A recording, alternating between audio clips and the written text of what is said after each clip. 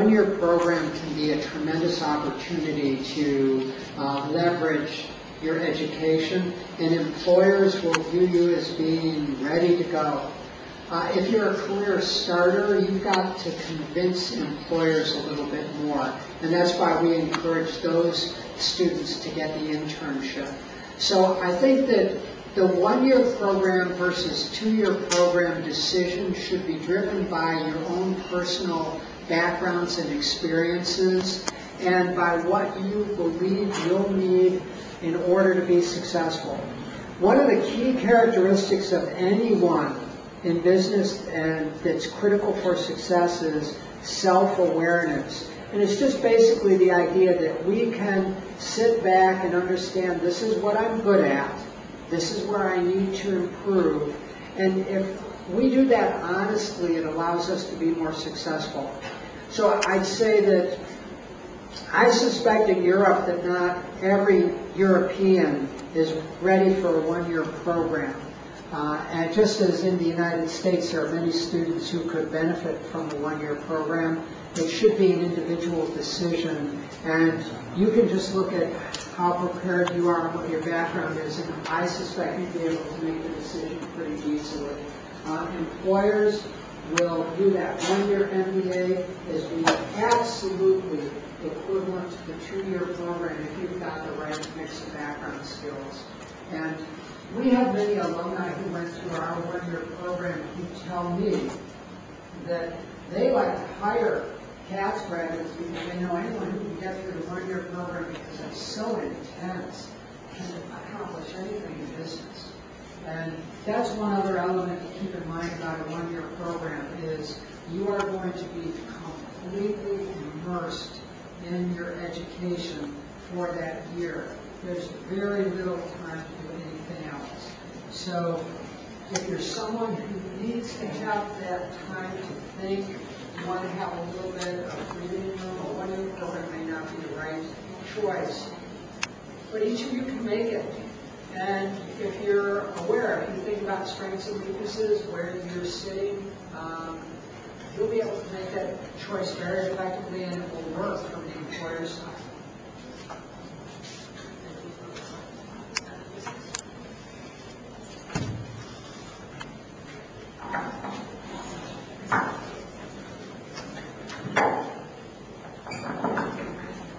Good afternoon. My name is Mia. I wanted to ask two, uh, two questions. First one is about, uh, well, a few minutes before I came to this class, uh, to this room, I mean, uh, a friend of mine said that um, in some university in the US, they usually only take uh, students who has a social project or social business. Although they does not uh, state that clearly, like common sense for them. Uh, is it also one that in CAT?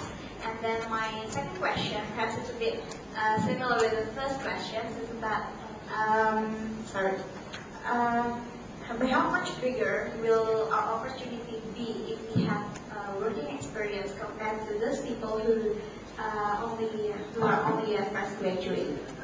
Yeah, two very good questions. Um, We don't expect students to have that type of, um, you know, sort of social entrepreneurship background or to do that type of project. Uh, We appreciate it when students do, uh, but the approach we take at Katz is that everyone is different. And uh, I don't think it's good to force everybody to look the same at the end. I want everyone to be able to get the background skills that they need to be successful. So we aren't like some of the schools that try to make the students look more like the same thing. And that means that there's more flexibility in our program, but it also means, remember that the, the problem with the flexibility is that it puts more of the onus on you as a student to do well, because it's up to you to make some of the choices on what you're going to take. And if you aren't thinking about it, you could end up making bad choices. Now, our advisors help students, but at the same time, that's the other side of it, it's the dilemma. Now, you asked the question about how valuable is work experience. Work experience makes a difference in the salary that you get after you have your MBA degree. People with more work experience get bigger salaries. So getting the work experience prior to business school effectively will guarantee that you'll have a higher salary when you go out. Now, in business school, you tend to have a high salary. I think we run about a hundred thirteen percent. This year, we're running higher than the pre-MBA salary. So after people get their MBA, their salary is double what it was when they came in. Now, students who got good work experience get the highest salaries, and those are the ones who've got the opportunity to get, you know, uh, three times, uh, four times the salary that you may have had when you came in.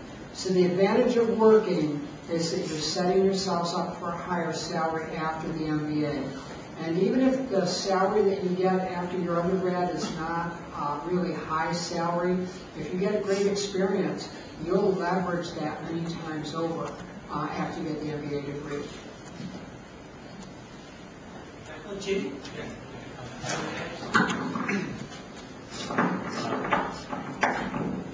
The one thing I want to share is, I was talking to several members of our admissions committee. This is the committee that looks at all of the applications.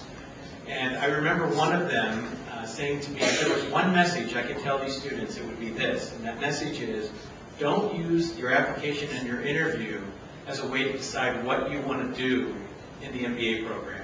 You need to answer and, and, and make everyone on that committee feel like you are passionate about finance, and finance is what you wake up in the morning thinking about, and what you go to bed thinking about at night. If you can convince that committee that that's what you're all about, you're a much stronger candidate than someone who honestly might say, you know, I like finance, but I kind of like marketing, I kind of like strategy, just, I'm going to use this MBA to, to help me determine what I want to do. It's a kiss of death. Now, the reality is that you can go into finance and decide that finance isn't right for you, but you're already in the program. It's easy to switch to a different program. So that's just one word of advice that I thought you might find helpful. Other questions? Okay, good afternoon, Mr. Delaney. Uh, my name is Putih. Um, to be honest, uh, I have planned to take uh, to continue my study at Michigan State of University. but uh, yeah, maybe I can I can tell I can um, uh, communicate to you if, uh, personally if, it- if it is possible. But um, two things that I want to ask is first about the TOEFL score. Yeah, you, you mentioned it before, and then the second thing is about uh, the environment on the on that place about maybe the toleration of the religious diversity or about the crime. Yeah. Okay. Um, Michigan State is a great school. Uh, I was there for six years, uh, loved the program, and I can answer your questions in the context of both Pitt and Michigan State. Uh, The TOEFL score varies a little bit across schools. If you can get 100 on the TOEFL score, you will be in a pretty good position at any MBA program. Some schools will accept you with an 80 or a 90, but you should try to get 100 or better on the TOEFL in order to be considered by everyone. If I look at my experience at both uh, Michigan State and at Pitt, I think what you would find is that the environment is quite diverse and tolerant of diversity, uh, both in terms of uh, religion, um, ethnicity. Uh, You see lots of different things on campus. Uh, At Michigan State, uh, there's a mosque that is right at the edge of campus, and the um, Muslim students have a a regular registered student organization. Uh, Most campuses, well, I won't generalize that far, but I'd say at Pitt and Michigan State, I think you'd find that the community is quite tolerant. Um, there really isn't a huge problem with crime. It's like in any big city, there are things, there are places you have to avoid. There are certain places in Pittsburgh or even in Lansing, Michigan, that if you're there at three o'clock in the morning and you're by yourself, you're inviting trouble. But generally on campus, it's very safe. Um, you know, as I look around the campus at Pitt, because we're in an urban environment, uh, I don't see very many instances particularly of serious crime. There's a lot of um, petty crime. Uh, If you leave your laptop out on a desk in a library, it's, will walk away. But I think that that could happen anywhere. So uh, one thing you can do though, that may be helpful, Schools in the United States have to file a report with the government every year that provides information on crimes that have been committed on campus. And those documents have to be published on the university website. So if you are interested in a school, you can go to its website and you can find that information out. In general, most American campuses are quite safe. Uh, and I think that you find that there's a great tolerance of diversity. Uh, What I'd encourage you to do, though, is talk to the students there, and in particular, if you're interested in a certain type of diversity, talk to students in that group to make sure that on this particular campus, it's a place where you feel comfortable. I encourage any prospective student, if you have the opportunity to visit a campus, um, no matter what they show you on the web, and no matter what people tell you, the best sense you'll get from a place is going to come from your gut. After you've had a chance to look around the campus, to talk to some of the faculty and students, and just get a sense for what it's like. Because you'll probably have at that point a reasonable sense of whether you feel comfortable there. And that ultimately is the most important issue because you're the person who has to wake up there every day and to feel comfortable. Um, but I would say you couldn't go wrong at either Pitt or Michigan State. I've got many colleagues back at, at State. It's a wonderful school, and we've got a very strong program at Pitt as well. So you're choosing two winners. Just, to- if I could just mention, that the student union at the University of Pittsburgh and most student unions at large campuses have a, a a prayer room for Muslims or people to go in and reflect and pray. So I know we have one in our student union at the University of Pittsburgh. I'm pretty sure Michigan State would probably have one. It's, it's definitely something that most campuses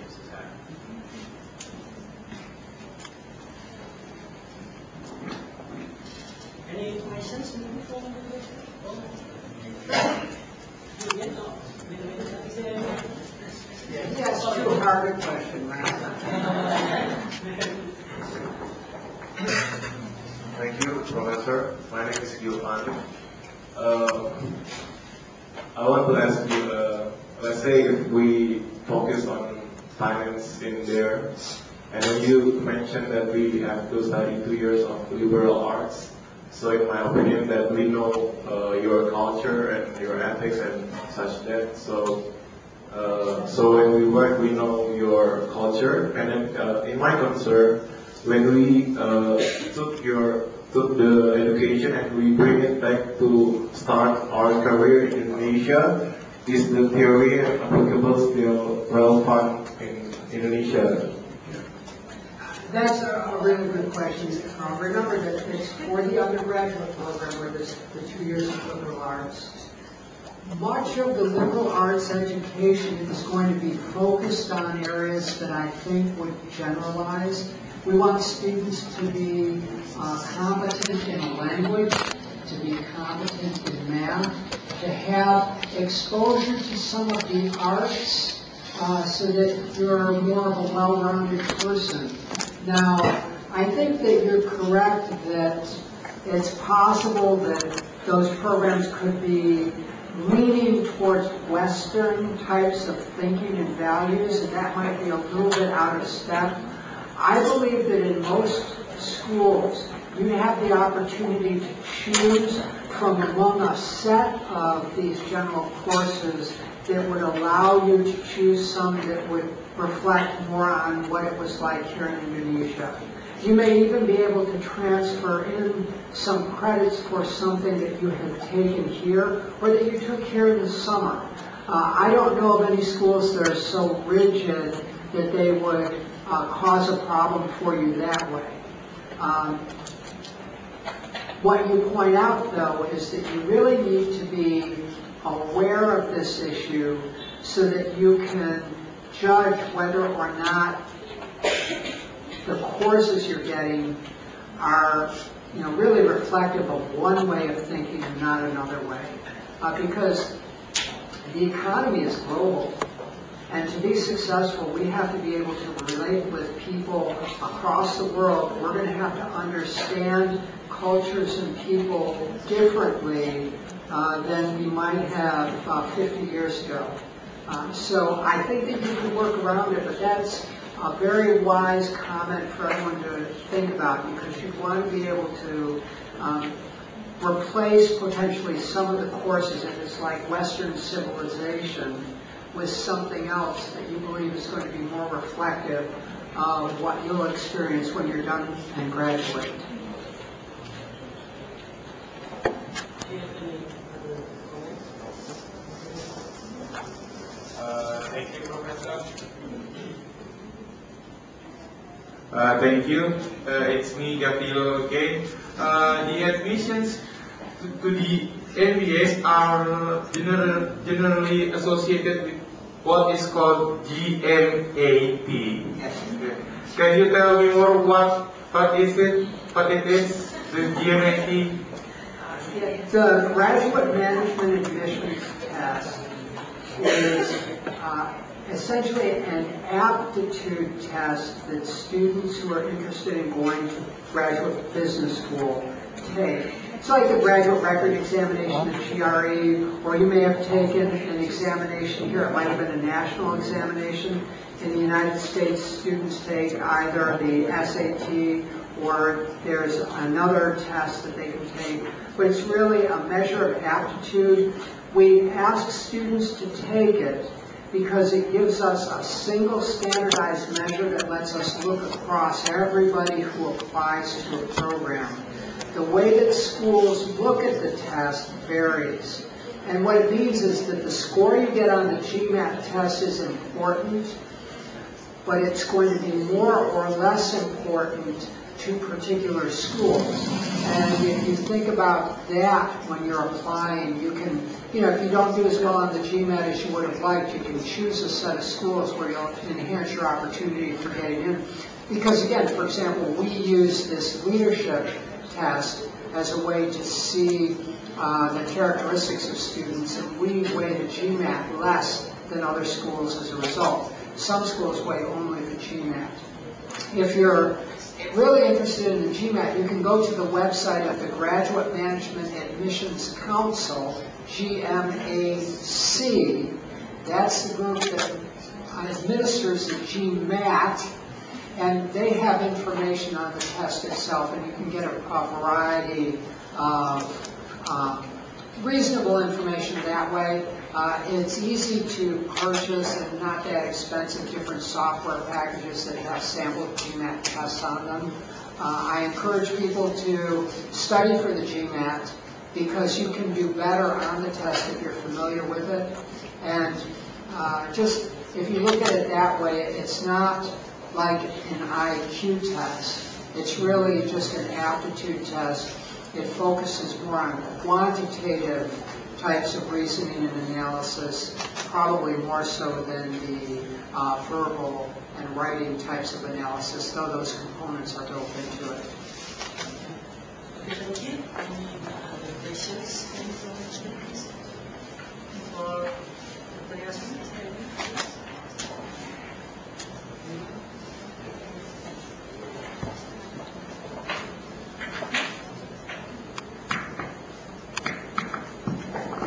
Uh, my name is Wuti, and uh, so uh, my father worked for a government, and he always told me that uh, it will be better for me to apply for a government institution that will send me to a certain uh, MBA school. Like this, uh, he said it, will be easier for me if I already affiliated with certain government institution. And uh, from what I know, uh, some of my father friends are being sent to Pittsburgh. Uh, is it true that it will be easier for me to apply for certain school and in this case if I uh, work for the government? I think that you have opportunities, if you work for the government, I think you have opportunities at many schools. It's the quality of the job that you have that's most important. And uh, what some, one thing that I'd encourage any international student to think about with regard to this is if you're interested in business, you want to be careful about going to schools that are public and international affairs schools. Uh, because I've talked to some of the international students who graduated from our public and international affairs school, and what they found was that they had difficulty getting internships and the types of job opportunities they wanted. And after the fact, decided they should have gotten an MBA degree instead. I, I believe that you could, um, I think that your father's advice is sound. Today, though, I believe that you could be a little more broad, that it would be possible to get to that other set of schools without having to focus on the government service. Uh, and I think that that just means you should focus on the areas that you believe will give you the best experience and, and help position you for the career that you want, and then use that to jump into the uh, MBA program at whatever school is going to be the one that helps you in that career. I think that there's a little more flexibility now, and the main reason is that uh, the MBA market is more competitive than it used to be. And as a result, students have a little bit more power in the market, so you've got more opportunities than would have been the case probably 20 years ago or 10 years ago.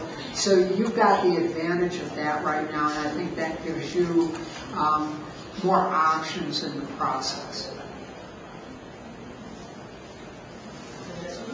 Okay, um, I would like to ask about the faculty member. Uh, if you want to develop the student, then you have also to develop the faculty.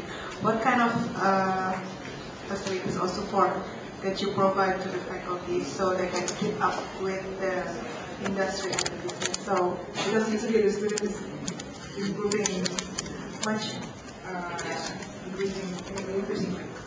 Uh, We try to provide faculty with the support that they need so that they can go to the conferences during the year that they would want to attend, that they have uh, available to them enough resources so that they can get databases they need to do their work.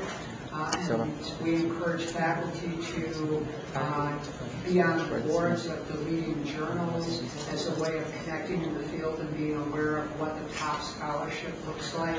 We encourage faculty to be involved in business in the community so they have a sense of what's going on in the business environment.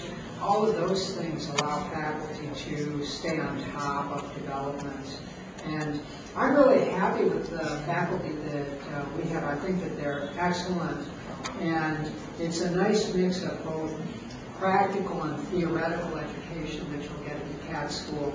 Um, it- And it varies across universities in, across the world effectively. Uh, But I'd say that we offer our faculty, as Dean, I'd say, I probably offer more than they ever would need uh, to be successful, but they really use the resources well. And I've been very pleased with uh, what the faculty have done.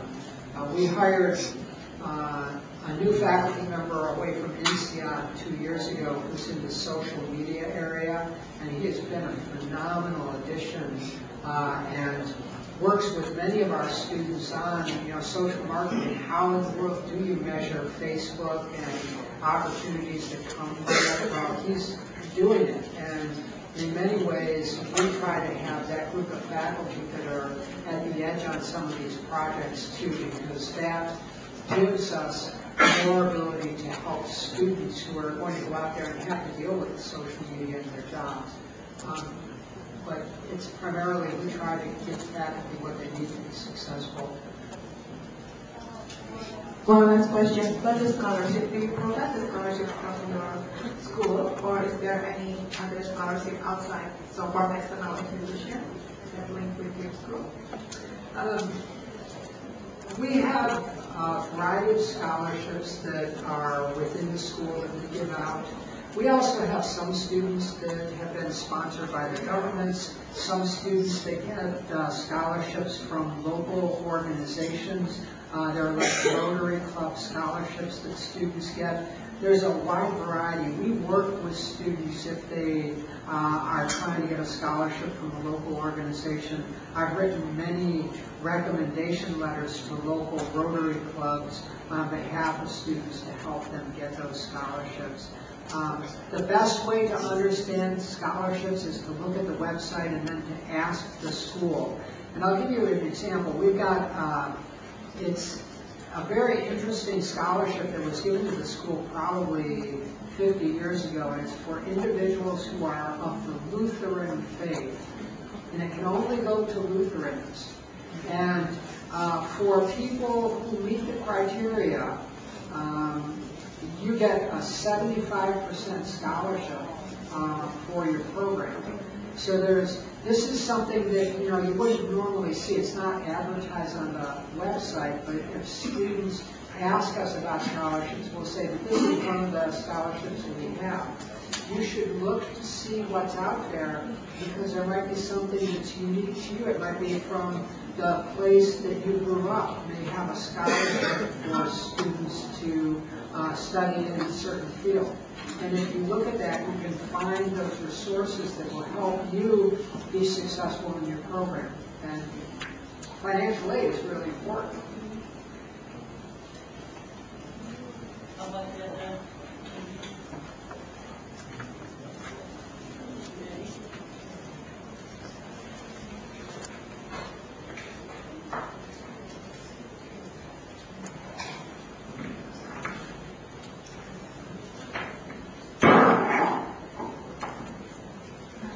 Thank you. Good afternoon, sir. My name is Mariana. Ask the, actually, ask the question about the, the question. Uh, I would like to ask uh, of course, there are, there are many people who will apply to teach, but, uh, I would like to ask what, what, what kind of people that will definitely have the greater chance to be accepted. Uh, you, you, uh, you mentioned that you would like to receive as many uh, from as many from various background.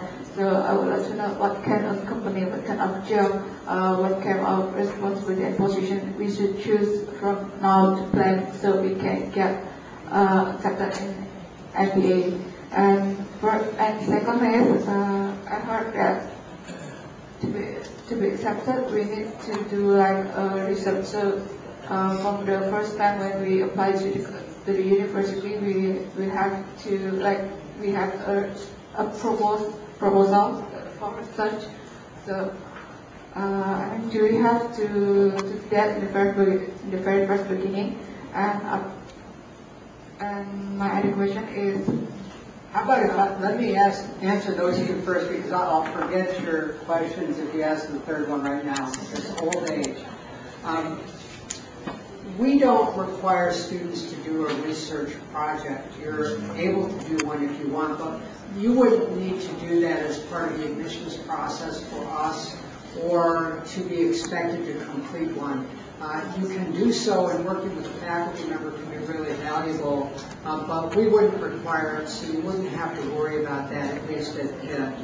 Uh, I would encourage you in terms of the job experience to take the job that is the one that you think is the best for you.